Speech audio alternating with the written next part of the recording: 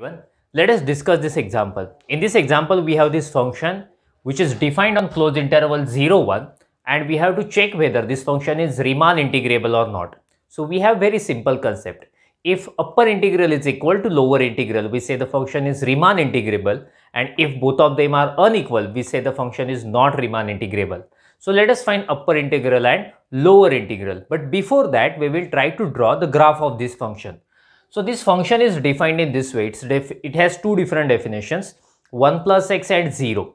So they say close interval 0, 1 intersection q. q means set of rational numbers. That means for set of rational numbers, okay, in this interval 0 to 1, it has definition 1 plus x and for close interval 0, 1 minus q, that means other than rational, that means you can say for irrational numbers, its value is 0. Okay, so let us consider 1 plus x, we will draw its graph. After that, we will draw the graph of 0. We have, let me write, we have, what we have, we replace f of x by y. So we'll have y is equal to 1 plus x. Power of x is 1, power of y is also 1. So that means it represents a straight line. Let me write a line here. So we have to draw that line. Okay, so for that, we need to have any two points on a line. So to find any two points on a line, we draw table like this. Okay, so we have this table having three columns and three rows, x, y and xy. So uh, we are finding any two points on the line. So what will I do? I will purposely put starting point and ending point of interval. Okay. So if I put x is equal to 0, y will be 1. So the point is 0 comma 1. If I put x is equal to 1, this one if I put here, value of y will be 2 so the point is 1 comma 2 so given line passes through these two points. So 0 comma 1 is here right? This is 0 comma 1 and 1 comma 2 1 comma 2 will be here. So 1 comma 2 so i'm going to draw line for this interval only 0 to 1 so we will have line like this okay? Okay so this is our line. So maybe you will think why i have drawn dotted line here because this function f of x is equal to 1 plus x only for rational numbers okay? And for irrational number its value is 0 so density theorem says there is rational number between any two rationals and there is irrational number between any two rationals. So therefore okay for only rationals we will have this line and for irrational its value is 0 that means its graph will be like this okay? So we will have dotted line here graph 0 okay so we have this graph. Okay let us go further. After that we consider any partition. So what will i do? I will divide this interval 0 1 in n equal parts. Okay what i'm doing? I'm dividing the interval in n equal parts. Then length of each subinterval will be 1 by n. Okay let me write here. Let p is equal to 0 1 by n 2 by n 3 by n and the ith term will be i by n and so on. Last will be n by n. n n will get cancelled and we will have 1. That means starting point is 0, ending point is 1. B partition, B partition of close interval 0, 1. That means we have divided this interval, okay, 0, comma 1 in n equal parts. Let me show it here. So suppose this is first subinterval, okay, this one, this will be 1 by n. Next one will be 2 by n. Next one will be 3 by n and so on. Okay and so on. So uh, many subintervals will be there. So definitely we can write one thing here. Okay let me write here. Delta xn delta xn that means length of each subinterval that is definitely 1 by n. Okay. So here in this example we have to find upper integral we have to find lower integral. First of all we will try to find upper integral. So for that we need to find capital MI. Do you know the definition of capital MI? So definition of capital MI is supremum of f of x where i minus 1 by n less than or equal to x less than or equal to i by n. Okay. So normally in the definition we write xi minus 1 less than or equal to x less than or equal to xi. But as you can see here, okay, the first interval is 0 comma 1 by n. Second will be 1 by n comma 2 by n. Next one will be 2 by n comma 3 by n. So the ith interval will be i minus 1 by n and i by n. So that's why I have written in this way. Okay. I will show it here. Suppose this is a uh, ith interval we have okay so this is i minus 1 by n and this is i by n so this is general interval i have considered here huh? so we have to find the maximum value of a function but you can see here the function is increasing. Getting this function is increasing. Actually the function has two values. Either 0 or it will follow this graph. Getting? So 0 will give the minimum value but we are interested in supremum maximum value. So i should consider this function so if you consider any ith interval at right end okay at right end of interval the function will attain its maximum value. You are getting? For example if you consider the first interval 0 comma 1 by n, where the function has a maximum value at 1 by n getting? In second interval 1 by n comma 2 by n where the function has a maximum value at 2 by n. That means in the general interval also at right end of that interval okay at right end of interval function will get its maximum value. So right end means i by n. So let me mention here this is f of i by n. So we got mi so let us follow the definition now. Yeah let us put it here. So this is equal to 1 plus i by n. Okay? 1 plus i by n. So this is the required value of capital mi and this is true for all i running from 1 to n. Let me mention here for all i running from 1 to n. So in this way we got capital mi now we are going to find upper sum okay? But there is no more space to write. Make a screenshot of it then we will go further.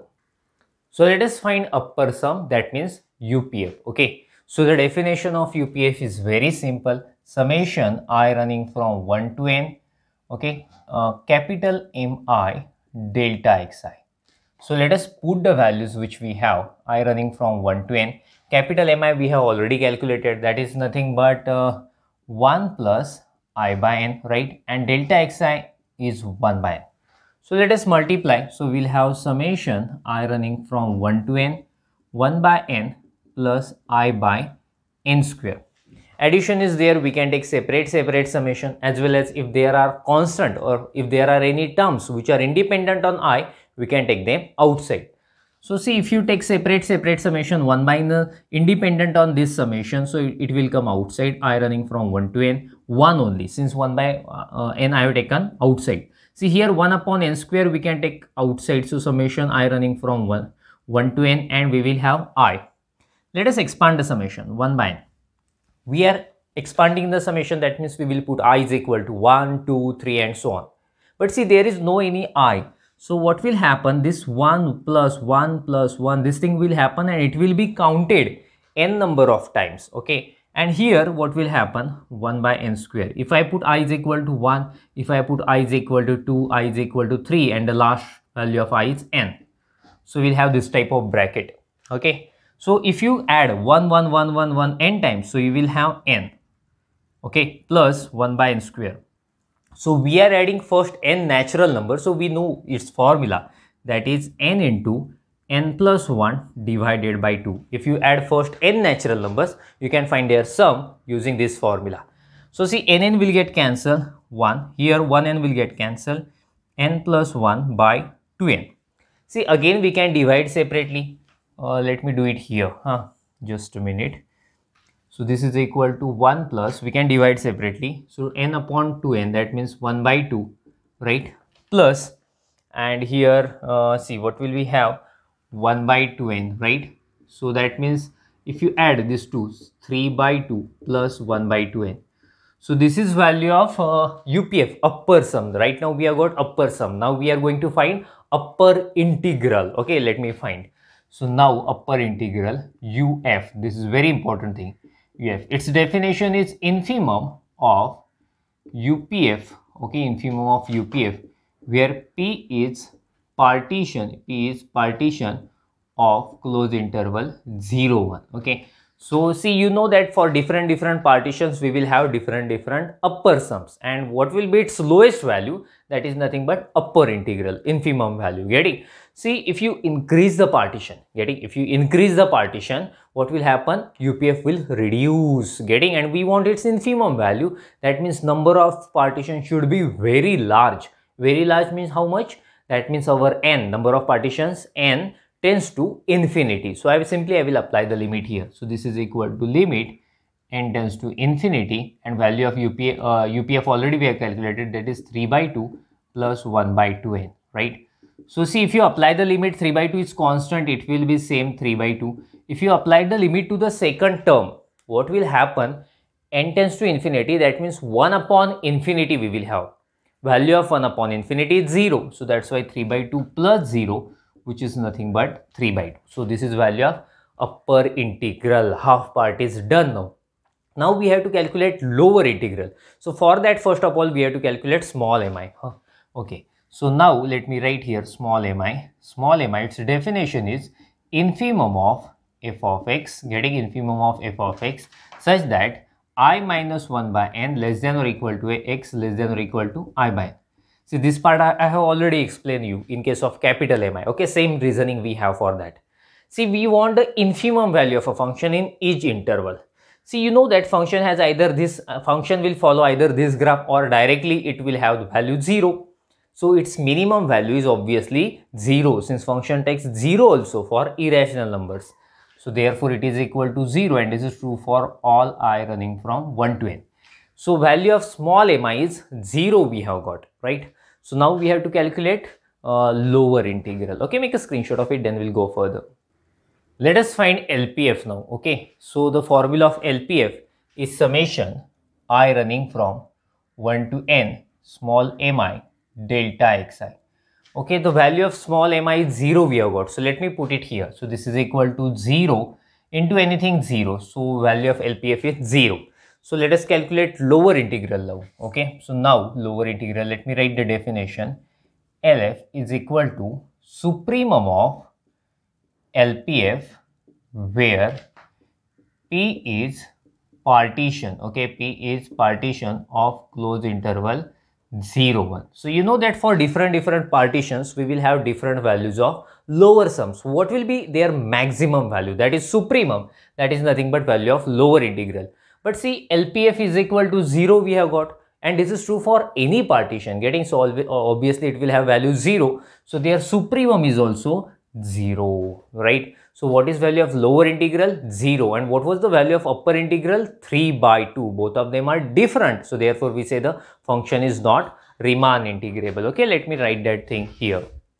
So I have mentioned here the upper integral is not equal to lower integral. Therefore function is not Riemann integrable on closed interval 0 1 okay bye bye